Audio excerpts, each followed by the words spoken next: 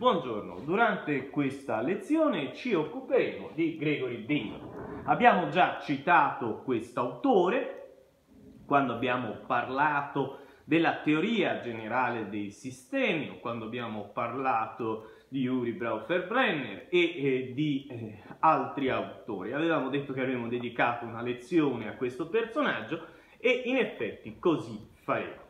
Bene, eh, cosa possiamo dire innanzitutto su questo autore? Beh, eh, come vedete, egli nacque a Cambridge nel 1904, ha rivolto i suoi studi da principio verso l'antropologia e l'eteologia e poi si è occupato in modo, diciamo, eh, estremamente particolareggiato sia di eh, cibernetica che anche di eh, psichiatria.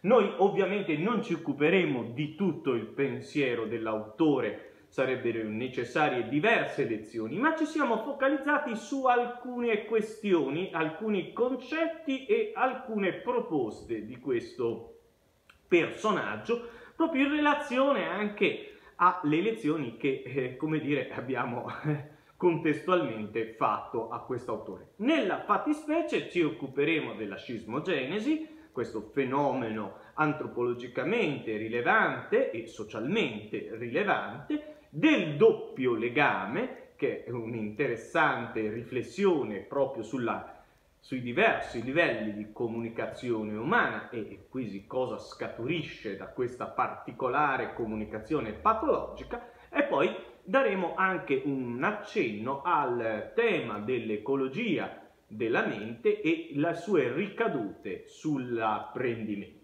tenendo conto che abbiamo già affrontato dal punto di vista ecologico l'apprendimento con la lezione su Yuri Braufer-Brenner. Bene, eh, chi era Gregory Bason? Beh, innanzitutto vediamo che era figlio del genetista William Bason e questo già fa vedere quanti stimoli avesse avuto intorno a sé questo eh, studioso fin da bambino.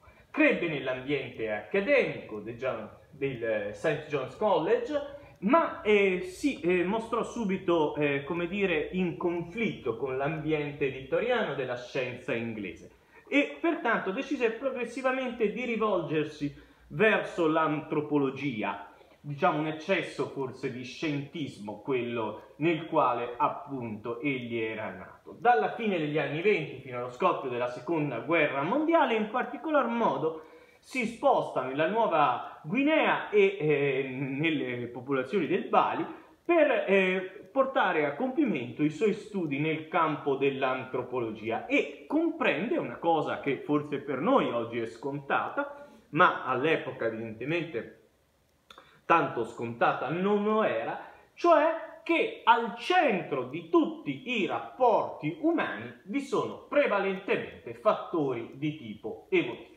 fattore, qui abbiamo messo questa immagine con tutte queste emozioni per eh, richiamare appunto anche visivamente questo concetto, ovvero che al centro di ogni forma di relazione, al centro di ogni anche organizzazione sociale e di gerarchie sociali vi sono le emozioni. E questo appunto è un aspetto estremamente rilevante all'interno del pensiero dell'autore. Nel 1935 Bason si sposa con l'antropologa americana Margaret Mead, quindi una, diremo, un'altra eh, importantissima studiosa in campo antropologico e eh, dopo essersi trasferito in America elabora i suoi, con, i suoi eh, studi in particolar modo sull'apprendimento e sulle interazioni comunicative. Ed è proprio in America, in questo periodo diremo noi americano, tra virgolette, che entra a contatto con le idee della cibernetica di cui appunto accennavamo all'inizio di questa esposizione. Queste teorie, le teorie cibernetiche in quel momento si stavano sviluppando, ebbero per Bason un'importanza determinante, condizionarono profondamente le sue eh, ricerche. Qui eh, gentilmente non ci viene aperta l'immagine, c'era appunto il eh, modello cibernetico delle informazioni. Bene, Bason morirà a San Francisco il 4 luglio del 1980. Qual è l'ipotesi centrale di tutta l'opera di Gregory Basin? Beh, in questa ipotesi che noi abbiamo detto oggi tratteremo, quella della scismogenesi, che viene trattata nel 1935 in questa opera, Neven. Questa ipotesi si basa su che cosa? Sulla, eh, sullo studio di come avvengano i cambiamenti all'interno di una società e in particolar modo Dison conia questo termine scismogenesi che eh, va a rappresentare il processo che porta ad un processo, scusate eh, la ripetizione della parola, che porta a un processo di differenziazione delle norme comportamentali all'interno della società, all'interno dei componenti di una società. Che cosa fa sì che si modifichino i comportamenti all'interno di un determinato sistema sociale. All'interno di un sistema, dice Bason, possiamo andare a identificare la genesi di uno scisma, cioè di una, eh, diremmo noi, eh, estremizzazione delle sue eh, componenti, riferendoci proprio ai modi attraverso i quali i diversi individui si relazionano tra loro. Queste relazioni portano ad un'escalation delle intensità comportamentali e eh, comunicativi. Bene, in che direzione vanno queste, diremmo noi, eh, manifeste eh, in escalation di intensità comportamentali e eh, comunicative?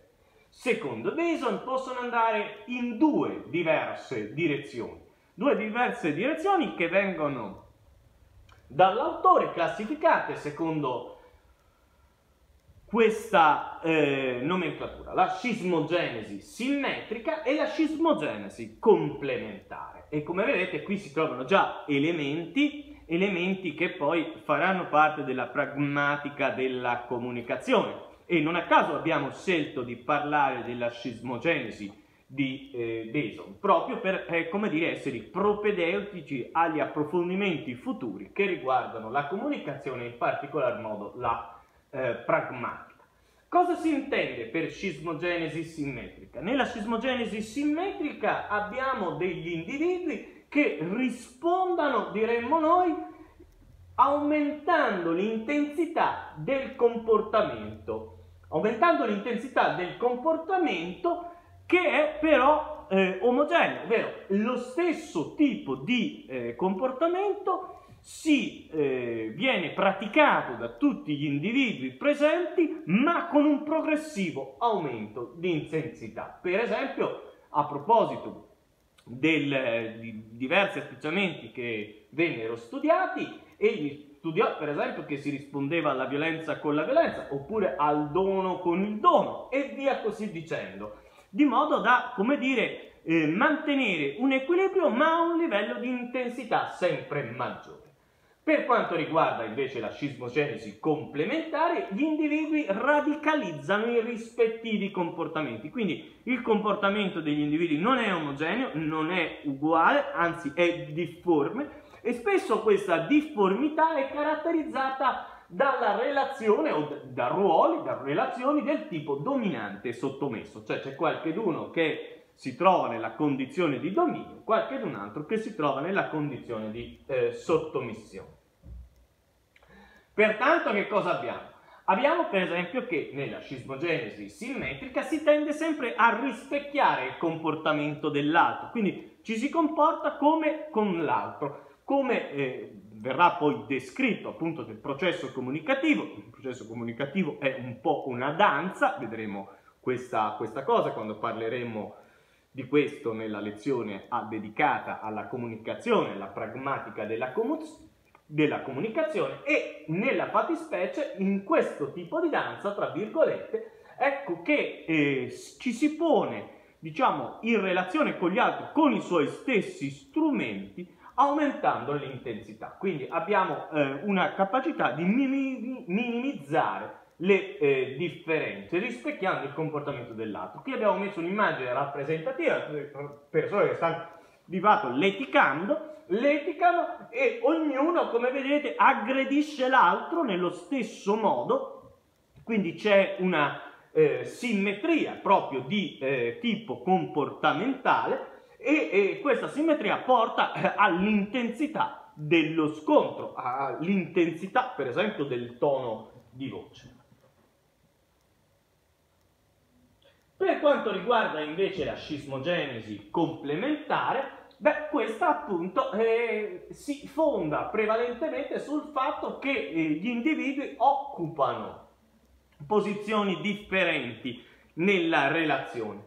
In particolar modo ci sarà uno o più individui in una posizione one up, posizione superiore, primaria, e un certo uno o più individui nella posizione one down, posizione inferiore o eh, secondaria. E questo vedremo verrà poi eh, recuperato all'interno proprio di uno degli assiomi della comunicazione di Václavic. Bene, la relazione complementare in particolar modo viene stabilita dal contesto sociale e culturale e facciamo degli esempi di relazione complementare mm, che sono eh, esempi comuni e che in un certo senso riguardano anche la pratica dell'insegnamento. Per esempio abbiamo la relazione madre-figlio, madre-figlio perché? Perché il figlio è dipendente dalla madre, medico-paziente anche in questo caso, il eh, paziente in un certo senso è nelle mani del medico, docente allievo, perché evidentemente anche in questo caso il docente, come dire, ha un po' il coltello dalla parte del manico e, e l'allievo chiaramente vive anche in una situazione di soggezione proprio di, dal punto di vista dei ruoli. E qui infatti abbiamo per mostrare la differenza, per esempio, dello scontro comunicativo di prima, che si gioca alla pari, qui abbiamo messo invece un padre che eh, sgrida un figlio e quindi da questo punto di vista si vede chiaramente uno in una posizione di eh, superiorità primaria, l'altro in una posizione di inferiorità secondaria. Quindi la complementarietà della situazione è ben espressa. Bene, abbiamo detto però dell'importanza della cibernetica ed infatti nel 1942 Mason viene a conoscenza proprio di uno dei concetti fondamentali della cibernetica. Prima purtroppo l'immagine non si è aperta, mostrava proprio questo concetto, il concetto di retroazione. Concetto di retroazione che poi vedremo più comunemente denominato eh, in, modo, in modo più semplice il, la questione del feedback.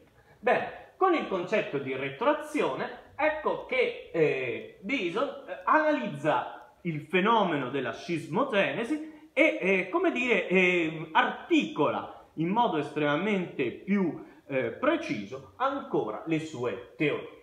Eh, qual è il punto centrale della riflessione della cibernetica e quindi del legame che c'è tra gli studi poi di Bason e appunto i eh, processi di comunicazione. Nella, visiv- nella visione della cibernetica ogni sistema si organizza e eh, si caratterizza eh, in base alle sue parti e, e questo, mh, mm, diciamo, questa organizzazione del sistema è eh, continuamente aggiustata, regolata, per così dire, attraverso dei meccanismi di scambio di informazione circolare.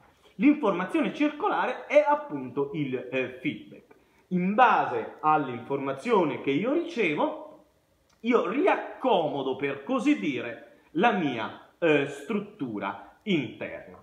Ora, questo ovviamente è, estremamente interessante, è simile per certi aspetti e ne abbiamo parlato parlando in modo introduttivo delle teorie dell'apprendimento a proposito del modello del TOTE, il Text Operate Test Exit, quindi della psicologia eh, cognitivista, e eh, qui eh, però questo eh, diventa estremamente più significativo perché ha a che fare proprio con gli scambi di informazione, gli scambi di comunicazione che nella fattispecie si intrecciano proprio a eh, questa, diremmo noi, organizzazione sistemica della eh, società.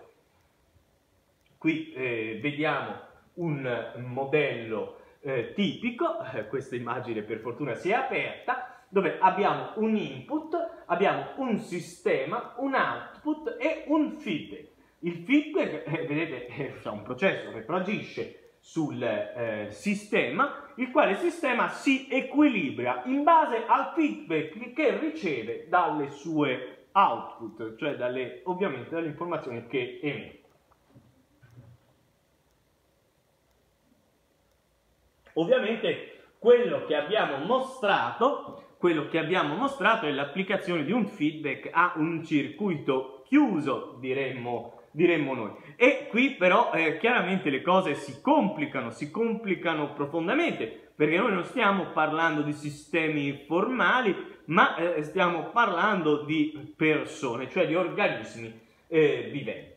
Ma eh, andiamo per gradi. Allora, intanto eh, diamo questa definizione di feedback, procedimento di controllo della ricezione delle informazioni e questo eh, ci permette appunto di avere ben chiaro che cosa si intende come feedback, un procedimento di controllo della ricezione delle informazioni. Quando noi per esempio spieghiamo, quando io spiego, ecco io in questo momento non ho un feedback diretto perché davanti a me ovviamente non ho nessuno però ho un feedback indiretto o quantomeno ho un feedback indifferita. Io posso andare a vedere se quello che ho spiegato viene recepito, viene effettivamente guardato oppure no. E questo per me rappresenta un feedback e, va a regolare il mio comportamento futuro. Cioè, se molte persone seguiranno quello che io sto spiegando in questo modo, io sarò portato a continuare nel mio comportamento e quindi a perpetuare in ulteriori spiegazioni con questa metodologia. Diversamente, chiaramente in assenza di altri feedback, io ovviamente eh, sarò eh, portato per eh, naturalezza a modificare parte dei miei comportamenti. Bene, eh, vediamo che cosa eh, cambia, quindi, o meglio, più che che cosa cambia, che cosa viene integrato all'interno della teoria della scismogenesi attraverso appunto l'introduzione di questo concetto di feedback e quindi secondo l'introduzione del processo di retroazione. Allora, riguardo la scismogenesi, appunto, eh, si possono manifestare diverse forme di retroazione, dice Bison la retroazione positiva e la retroazione negativa. Proviamo a vedere degli esempi di retroazione positiva e degli esempi o quantomeno eh, degli elementi di retroazione negativa. Allora, per retroazione positiva è quando appunto noi abbiamo a che fare con un aumento dell'aspetto quantitativo che, man- che viene utilizzato per mantenere l'uguaglianza tra i diversi elementi che sono parte del nostro sistema. Facciamo l'esempio più semplice del mondo che è alla nostra portata, cioè che è proprio nella nostra quotidianità. Per esempio, quando siamo in una stanza, siamo, mettiamo una decina di persone, ma eh, ovviamente eh, questo eh, può riguardare un'aula o quant'altro, eh, c'è del rumore di fondo, quindi uno per parlare deve alzare la voce, alzando la voce però aumenta il rumore di fondo e gli altri a loro volta aumentano il loro tono di voce e così via, si ha un'escalation di aumento continuo del rumore. E questo per esempio è una cosa a cui bisogna fare molta attenzione mentre siamo per esempio in una classe, mentre si sta spiegando. Se io inizio ad alzare la voce perché c'è del brusio, perché gli studenti, tra virgolette, non stanno attenti, cioè parlano tra loro, io in realtà alzando la voce non faccio altro che alzare il brusio perché poi gli studenti alzeranno il loro tono di voce per continuare a parlare tra loro. E io allora dovrò alzare ancora di più la voce. E insomma per così dire non se ne viene più a capo. E, e questa cosa ovviamente può portare poi a un'implosione del eh, sistema nel momento in cui ovviamente non si trova uno sbocco positivo.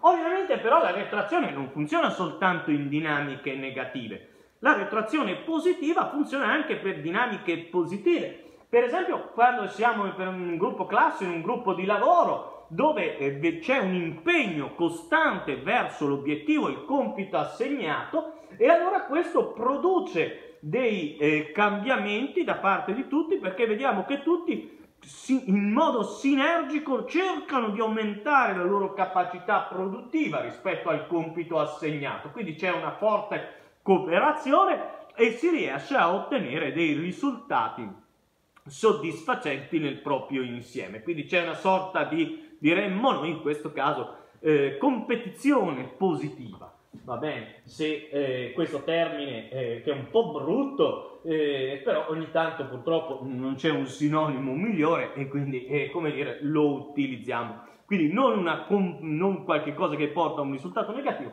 ma in questo caso qualcosa di positivo. Andiamo invece a vedere prob- le problematiche legate alla retroazione negativa. Beh, qui invece le questioni eh, sono un pochino più, eh, diremmo noi, eh, complesse e difficoltose. Perché? Beh, è proprio perché questo equilibrio, questo equilibrio all'interno del sistema è in realtà generato da eh, una disparità di ruoli nella maggior parte dei casi. Abbiamo visto appunto situazioni dove ci sono degli elementi in una situazione di superiorità, one up, e degli, dei soggetti in una situazione di one down. E eh, nella fattispecie la retroazione negativa che cosa fa?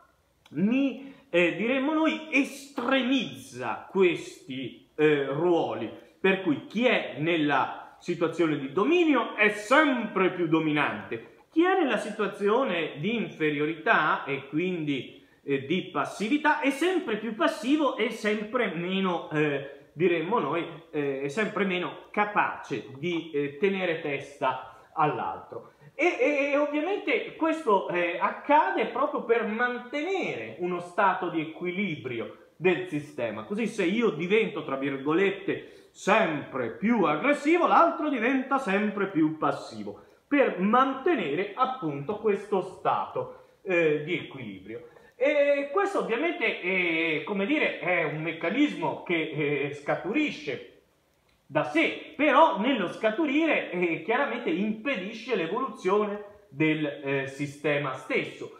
Un esempio tipico, qui abbiamo messo questa immagine che adesso vi spiego perché l'abbiamo scelta. Un esempio tipico, per esempio, è quello del capro espiatorio. Cosa c'entra ora la teoria dei gruppi?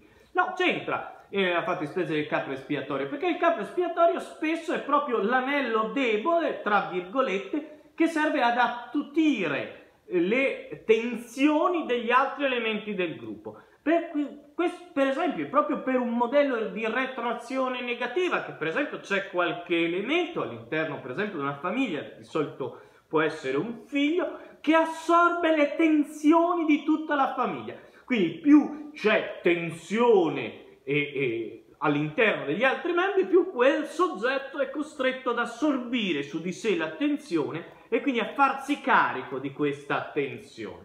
Questo ovviamente può succedere anche all'interno di un gruppo, un gruppo classe, per esempio, dove qualcuno assorbe su di sé le tensioni che si vengono a riferire. E però questo eh, processo, come vediamo, eh, spesso e volentieri porta poi al sovraccarico su determinati individui e, e spesso questo appunto porta poi al crollo della situazione, proprio perché non c'è una possibilità di un'evoluzione positiva nel caso della retroazione eh, negativa.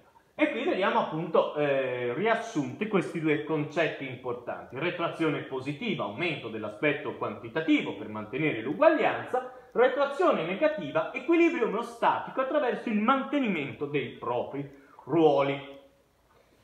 Bene, e qui mh, ancora una volta vediamo questa importanza eh, della cibernetica nella teoria di Bison. Il contributo fondamentale della teoria cibernetica è data a Beson dal fatto che lo pone in un'ottica di riflessione verso il superamento del modello riduzionista del meccanicismo, del materialismo, il fisicalismo tipico dei premi del eh, Novecento, della storia della natura, e lo mette direttamente in contatto con la teoria generale dei eh, sistemi. E noi abbiamo trattato, abbiamo dedicato una lezione alla teoria generale dei sistemi di Bertaranfi e del suo gruppo e eh, in effetti Bason gli viene un'idea. L'idea qual è?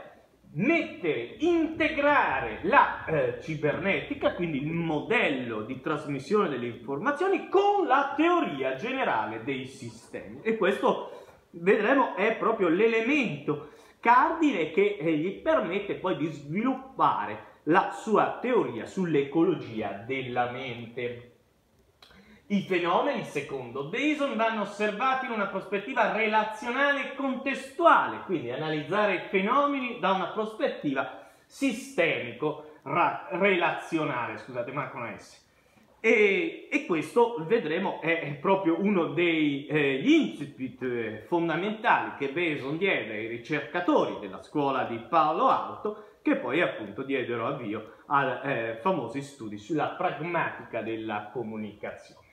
Questo modello prende in considerazione quindi un circuito più vasto rispetto a quello input-output dell'informatica e dell'ingegneria, perché appunto il modello input-output ha, per così dire, una via d'ingresso, una via d'uscita e un'elaborazione. Qui invece c'è, eh, come dire, eh, tutta la riflessione della scuola sistemica, quindi della teoria dei sistemi, dove appunto diventa fondamentale il contesto all'interno del quale avviene lo scambio di informazioni e quindi l'input-output del processo comunicativo. E questa prospettiva eh, non si limita a considerare quindi il processo lineare delle informazioni veicolate, ma appunto mette l'accento sulla peculiarità delle comunicazioni tra organismi, che in buona parte appunto dipende proprio dal contesto all'interno del quale si eh, sviluppa e tiene ovviamente conto del fatto che eh, gli individui, come dire, caricano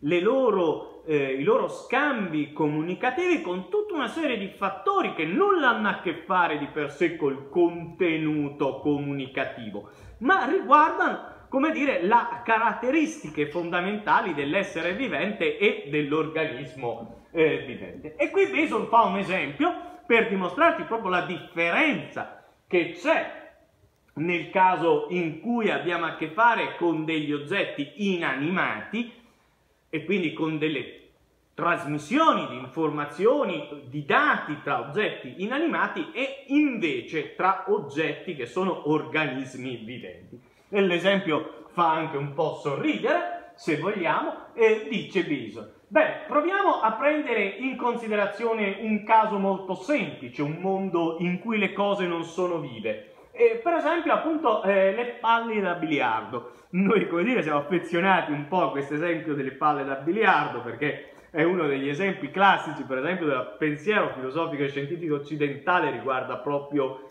David Hume, la riflessione sul concetto di causa-effetto, poi ripresa appunto da eh, Immanuel Kant, altri autori, quindi una cosa estremamente interessante. Comunque, rimaniamo sull'esempio delle palle da biliardo. Che cosa possiamo verificare? Possiamo verificare che una palla da biliardo ne colpisce un'altra e la seconda risponde con l'energia ricevuta dalla prima.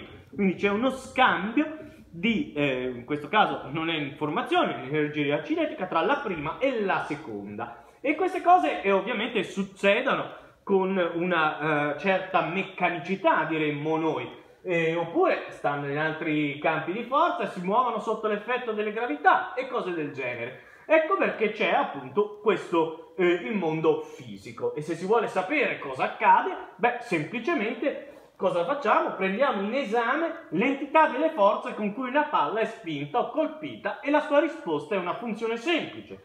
Cioè la risposta della palla è quanto si è mossa la palla esattamente tanto quanto è stata eh, colpita, quindi esattamente per quanto la forza che gli è stata impressa gli è stata consegnata. Qui abbiamo messo l'immagine appunto del, tal, del palle da biliardo, se, sembra un tipico problema, diremmo noi, di fisica, se una palla viene colpita da un'altra con una velocità tot avente massa y di quanto la palla si sposta. E questo è appunto un tipico problema che potremmo eh, come dire, analizzare dal punto di vista della fisica, della fisica classica. Ora dice Mason, e questa è come dire la parte, mm, tra virgolette, divertente, non se ne abbiano gli animalisti.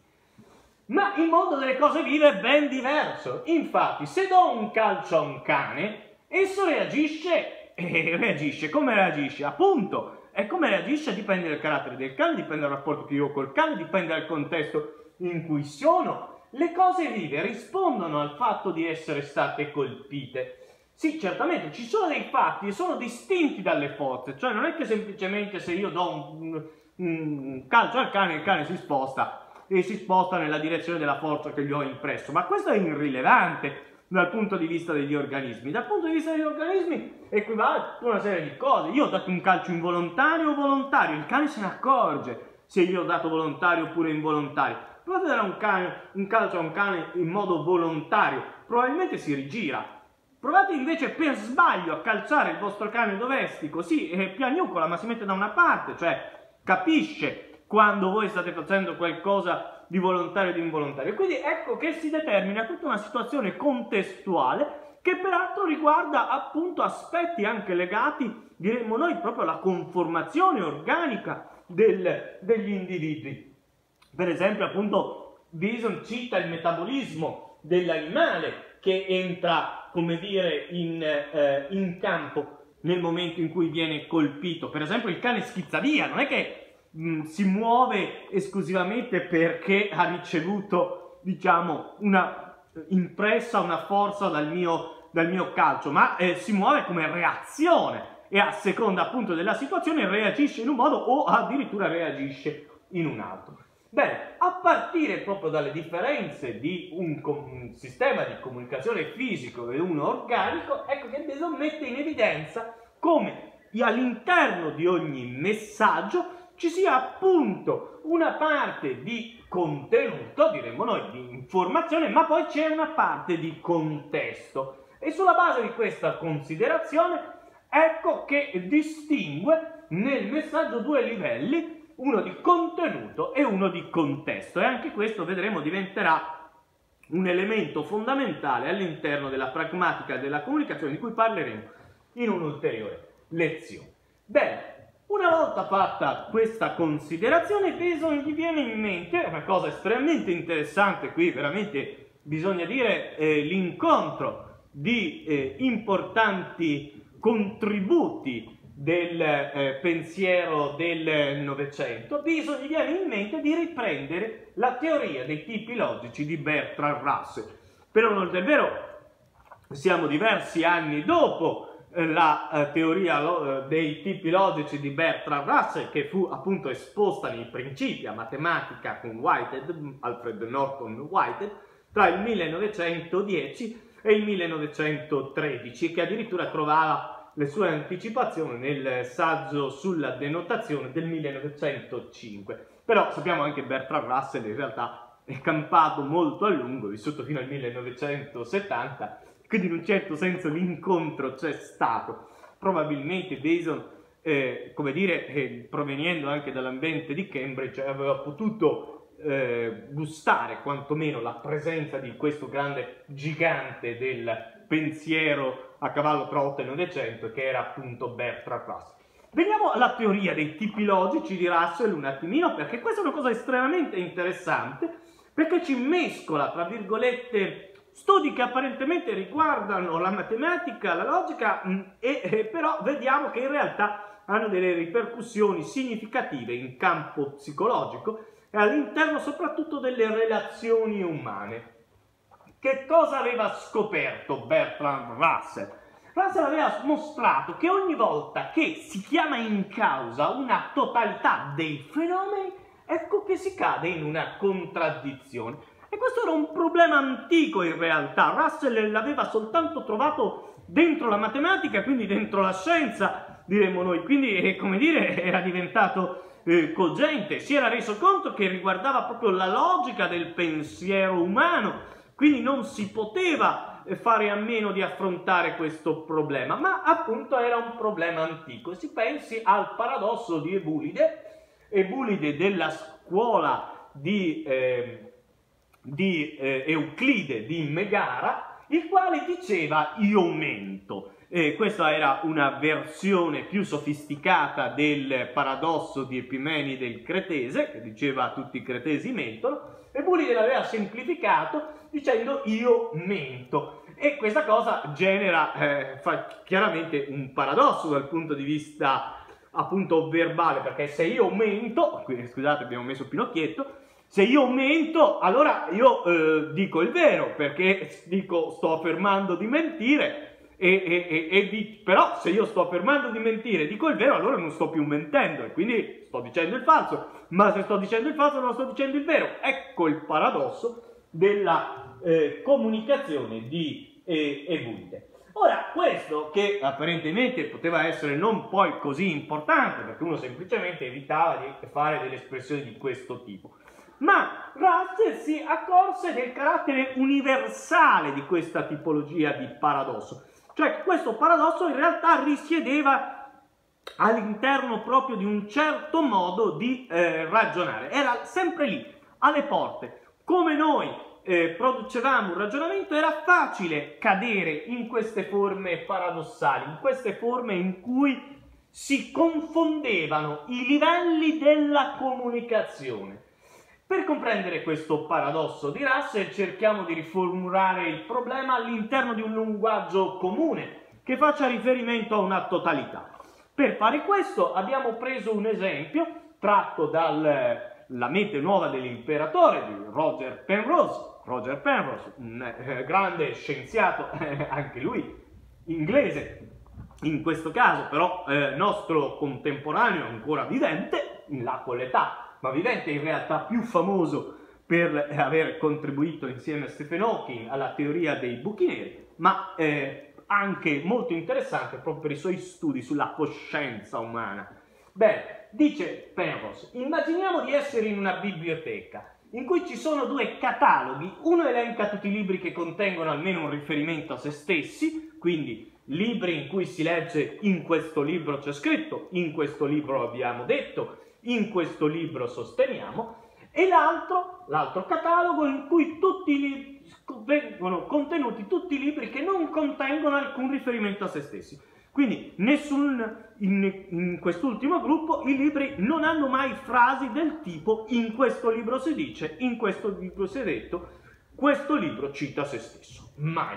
Bene, a questo punto ci domandiamo, se essi stessi, cioè questi due cataloghi, devono essere catalogati, in quali cataloghi li cataloghiamo? Cioè il primo lo possiamo catalogare in se stesso perché l'insieme degli insiemi che, o meglio dei libri che trattano di se stessi. Ma il secondo dove lo mettiamo? Non lo posso mettere nel secondo perché nel caso io lo mettessi nel secondo lo farei parlare di se stesso e quindi dovrebbe stare nel primo ma se lo metto nel primo allora dovrebbe stare nel secondo e così via. E qui abbiamo messo appunto questa immagine della biblioteca, immaginando appunto che qui ci siano due volumi che non sappiamo dove elencare nello schedario. Invece due cataloghi possono essere semplicemente due schedari. Bene, non avendo alcun riferimento, appunto, dicevamo nel secondo, ma così ne avrebbe, e quindi nel primo, ma così perde la sua proprietà di non averne, e così via.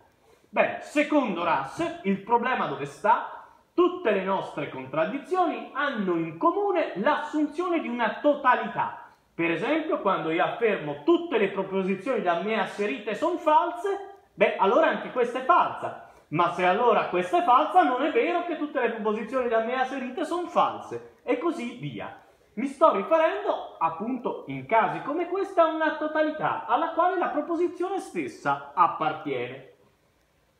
Ora, questo argomento, questa tipologia di riflessione, genera in realtà tutta una serie di situazioni paradossali, ovvero senza via di uscita. In termini matematici, l'attribuzione di Russell fu quella appunto di sostenere che nella logica formale o nel discorso matematico una classe non può mai essere un elemento di se stessa, ovvero una classe di classi non può essere una delle classi che sono i suoi elementi. Proviamo a eh, formulare questa, diciamo, eh, affermazione in termini un pochino più eh, semplici, con un esempio. Per esempio, il termine generale cane prendiamo il concetto cane, dogs, cani, in questo caso, va bene? Quindi un insieme di cani. Bene, questo concetto con cui indichiamo tutto l'insieme dei cani, dice Russell, beh, non mi posso chiedere se esso stesso è un cane. E in effetti, anche visivamente, ci rendiamo conto che il concetto non è un cane, è appunto un tipo logico diverso. Quello è un concetto, questi sono oggetti del concetto, quindi questi sono elementi dell'insieme cane e non mi posso chiedere a sua volta se l'insieme cane è un cane.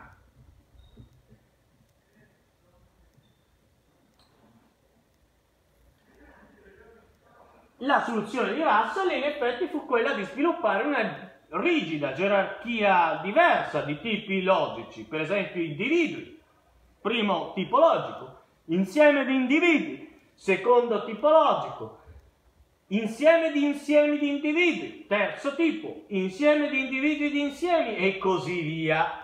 E questo ovviamente faceva da premessa al fatto che gli elementi che facevano parte di un certo tipologico possono essere membri o non membri soltanto di qualcosa che faccia parte del tipo logico di livello gerarchico superiore. Per cui io mi posso chiedere se gli individui appartengono agli insiemi di individui, ma non mi posso chiedere se gli insiemi di individui appartengono agli insiemi di individui, ma soltanto se appartengono agli insiemi di insiemi di individui e così via. Come una grande scalinata, diremmo noi. Per fare un esempio, ancora una volta, ci possiamo domandare se Socrate è un uomo, ma non se la proprietà di essere uomo è essa stessa un umano. In sostanza la teoria dei tipi logici ci dice che ciò che fa parte di un certo tipo logico appunto può essere membro o non essere membro solo di qualcosa che faccia parte del tipo o livello gerarchico immediatamente superiore. E voi direte, bene, e cosa c'entra questa cosa così complessa con Mason? Beh, lo vediamo subito. Infatti, Bason si accorse che le confusioni tra le classi della logica sono un problema che riguarda non solo gli scienziati, quindi non soltanto appunto le questioni di scienza, ma in realtà tutti i fenomeni della vita umana. Qui bisogna dire che per onor del vero già Bertrand Russell aveva annunciato questa cosa, cioè già Russell aveva detto guardate che il mio paradosso non è un problema esclusivamente della matematica o della logica, ma in realtà è un problema che sembra riguardare qualsiasi cosa.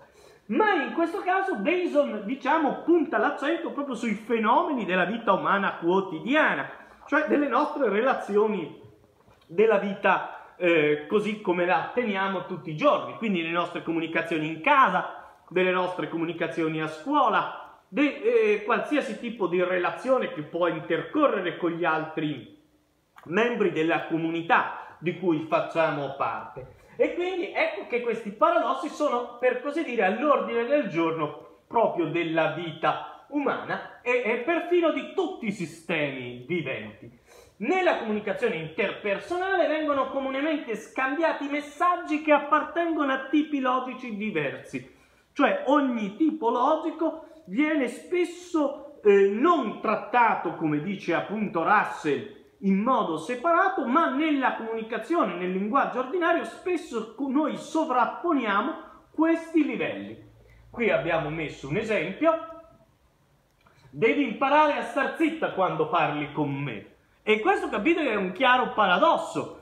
Eppure questa è un'espressione di luogo comune. Ma come devi imparare a stare zitta quando parli con me? Ma se parlo non posso stare zitta. Se sto zitta non parlo. E quindi, e quindi o non parlo o, o sto zitta non, non c'è via di uscita. Voi direte, ma questa è una barzelletta. Bravi, avete indovinato. Infatti le barzellette spesso e volentieri si basano proprio su, eh, diremmo noi, sui paradossi di Russell, cioè sulla fusione di diversi tipi logici. Il problema è che questo è una barzelletta, può far ridere, ma dal punto di vista della psicologia, nella vita quotidiana possano degenerare cioè creare delle situazioni patologiche. Ed è qui che si entra nel secondo e fondamentale concetto affrontato appunto da Bason, ovvero appunto che nelle situazioni complementari, ricordate abbiamo detto, abbiamo parlato della scismogenesi complementare, dove abbiamo una situazione dove c'è una persona in una posizione dominante e l'altra in una posizione subalterna, bene, nelle situazioni complementari dove gli interlocutori appunto hanno questa diversa posizione e dove il secondo non ha l'opportunità, tra virgolette, quello che sta nella posizione di subalternità di eh, andarsene via, in un certo senso quindi è vincolato dalla situazione. Facciamo un esempio, il figlio, il figlio eh, non è eh, possibilitato a svincolarsi da chi ne eh, possiede la genitorialità. E, e, per esempio i nostri alunni a scuola, i miei alunni a scuola non, non possono eh, come dire, di fronte a una comunicazione prendere e andare via, cioè se lo fanno prendono immediatamente un provvedimento disciplinare, quindi sono in una situazione di vincolo. Ma eh, vale questo anche sul posto di lavoro, basti pensare al direttore, al capo del personale con un suo sottoposto e così via. Bene, queste tipologie di situazioni danno origine a quello che Basil chiamò appunto in patologia doppio legame, double bind. Scusate la mia pronuncia inglese, non è granché, doppio legame, cercheremo di pronunciarlo nella traduzione, doppio legame o doppio vincolo. E, e, e, qui gli esempi che vengono fatti sono proprio appunto quelli relativi a eh, situazioni che abbiamo citato prima, come quella appunto tra insegnante e alunno. Eh, pensiamo a un esempio classico in cui si crea un doppio legame, un doppio vincolo comunicativo. Il docente ordina Ecco la relazione, il contesto che diventa fondamentale per la comunicazione. Il docente ordina all'alunno esprimi liberamente le tue idee, ma appunto si capisce, siamo in una situazione di comando, ma se io sto comandando a qualcuno di esprimere liberamente le sue idee, beh, lui eh, delle due l'una, eh, se esprime le sue idee non lo sta più facendo in modo libero, ma lo sta facendo sotto comando. E allora cosa fa? E allora non lo fa. Ma se non lo fa, non fa quello che gli è stato comandato, cioè di esprimersi. E in ogni caso, vedete, non ha via di uscita. O ancora, proviamo un'altra situazione patologica, in questo caso che riguarda la famiglia. Eh, quando si, um, a volte capita che all'interno della famiglia un genitore, una madre si arrabbia e dice al figlio come fai in sbagli? Ma eh, come fai in sbagli? Allora co- co- cosa devo fare? Perché se non faccio nulla sto sbagliando, se faccio qualcosa sbaglio, come fai sbagli? Non ho via di uscita. Sono appunto in una situazione di eh, vincolo e questo crea appunto una patologia, diremmo noi. La eh, double bind infatti è una situazione paradossale in cui al soggetto che si trova in una situazione one down non viene data la possibilità di una scelta positiva. Qualsiasi cosa faccia è, è negativa e quindi si genera appunto una paralisi. Una paralisi. Queste situazioni, queste situazioni danno origine appunto a situazioni patologiche che, se prolungate, possono portare a un vero e proprio disagio, diremmo noi. E Bezos eh, ricondusse alcune forme di schizofrenia proprio al doppio legame o al doppio vincolo, immaginando che quando la situazione di doppio legame pervade la quotidianità e determina la percezione del mondo, il soggetto, per esempio il bambino, comunque la persona che si trova in posizione di eh, sudditanza, die, die, diviene incapace di discernere tra i diversi tipi logici. Cioè si perde la capacità di distinguere tra i diversi tipi logici e quindi si incappa in delle forme di eh, schizofrenia. Questi studi da questi studi di Benson prendono avvio due altri grandi tronconi di ricerca. Di uno di questi parleremo in una lezione specifica e lo abbiamo già accennato più di una volta, sono gli studi degli altri ricercatori della scuola di Palo Alto come Václavic che appunto daranno via allo studio della pragmatica della comunicazione e eh, dall'altro lato appunto Bezos approfondisce i eh, temi sull'ecologia della mente di cui però appunto daremo soltanto, mh, mm, diremo noi, soltanto alcuni elementi qui tanto per come dire lasciare poi la curiosità di andare a approfondire a proposito dell'ecologia eh, della mente quindi della teoria ecologica della mente la teoria dei sistemi applicata ai processi comunicativi, perché vi ricordo che Bason arriva a questa analisi proprio cercando di mettere insieme la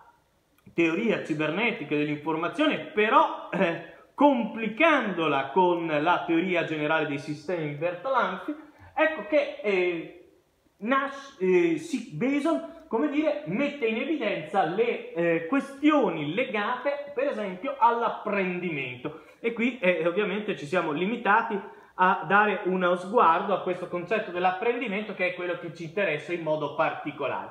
Secondo Bason, appunto, l'apprendimento è una di quelle eh, pratiche che, pre- che, necessita maggiormente di una visione sistemica, una, una, dimensione sistemica che eviti tutta una serie di storture. Eh, per quanto riguarda le storture, il problema, dice Bason, non sono i contenuti dell'insegnamento, non sono, diremmo noi, le informazioni, ma le modalità. In particolare tra queste modalità Dice Bason, noi siamo eh, in un certo senso, siamo per così dire messi in difficoltà da alcune di queste. Eh, e queste sono il dualismo cartesiano, mente-natura, questa è una delle eh, distorsioni con cui abbiamo a che fare, il fisicalismo delle metafore, cioè quando per esempio cerchiamo di spiegare fenomeni mentali in termini quantitativi, diremmo noi, e l'assunto proprio che tutti i fenomeni debbano essere studiati e valutati in termini quantitativi.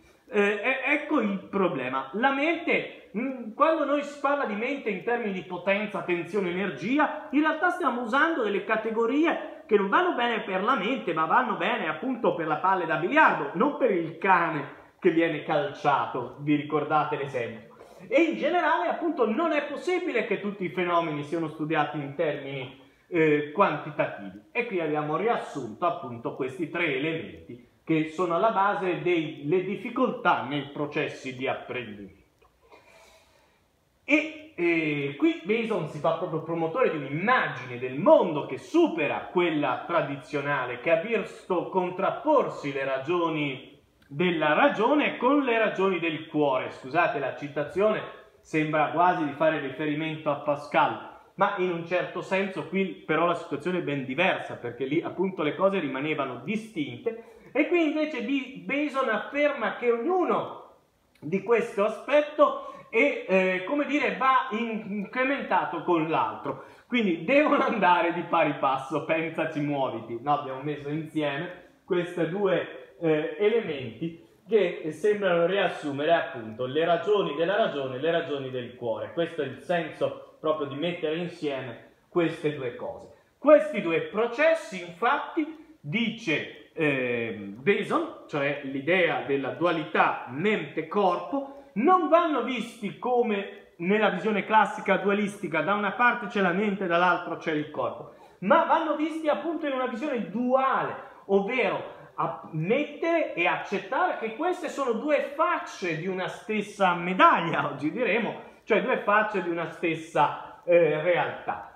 E non solo, ma oltre a questo, questo è l'altro importante suggerimento che ci arriva da Beson a proposito dell'educazione, è quello appunto di eh, fare in modo di non avere come unica prospettiva la finalità cosciente. Cosa si intende per finalità cosciente?